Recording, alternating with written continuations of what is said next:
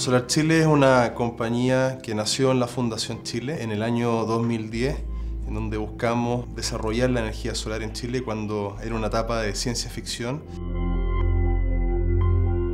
Nuestro enfoque original comenzó en el desierto de Atacama, en donde veíamos que estaba la mejor radiación del mundo, y comenzamos en una etapa muy temprana a hacer, digamos, ruido en el mercado de que Chile tenía que hacer una apuesta por la energía solar.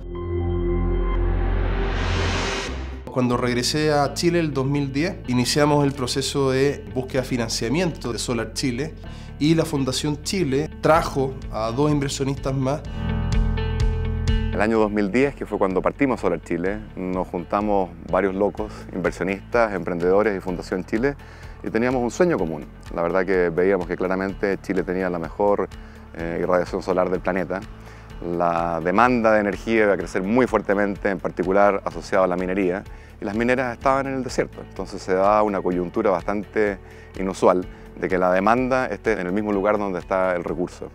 Y nos tiramos con más pasión que cabeza probablemente, en una época en que todos nos decían que estábamos locos. Pero afortunadamente estábamos en el timing correcto, los costos de la tecnología venían bajando violentamente y pudimos sacar adelante un emprendimiento exitoso en una empresa desarrolladora de plantas solares que terminó construyendo lo que en su momento fue la planta solar más grande de América Latina. Finalmente, el año 2013 se materializa la venta de Solar Chile a First Solar.